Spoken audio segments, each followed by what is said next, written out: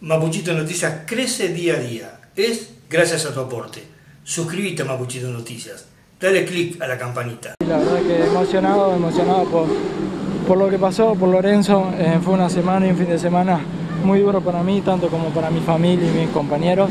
Así que, así que nada, eh, totalmente agradecido a él, a él y a la familia por dejarme despedirlo de la mejor manera de lo que a él le gustaba y le era feliz. Así que gracias a la familia con la Silly y felicito a él que él ganó su primera victoria acá en la forma. Alguien con quien tenías muchísima amistad.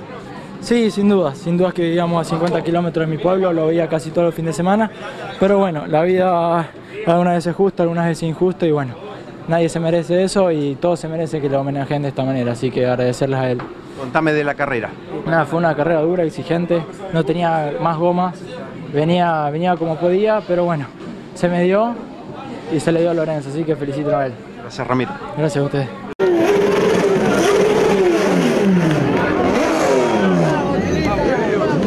Y aquí está el ganador, Manuel Borger. Felicitaciones Manu. Muchísimas gracias. Un fin de semana perfecto, que se me dio todo del sábado hasta ahora. Pude hacer una buena largada, me habían dicho por radio que estaba socio y curbón. Le quise intentar igual.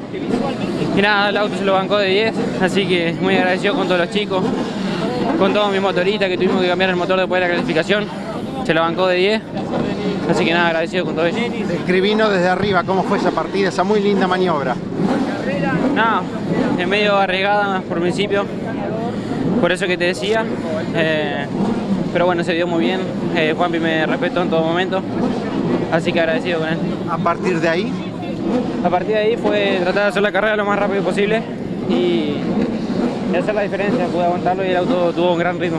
Esa maniobra para saltar a la punta, felicitaciones está, ¿no? Muchísimas gracias, la verdad que fue una maniobra linda, arriesgada, me respetó bien Nacho, porque me vio por el espejo por una vez que ya tenía la camioneta puesta y venía con bastante velocidad, me permitió seguir por mi línea.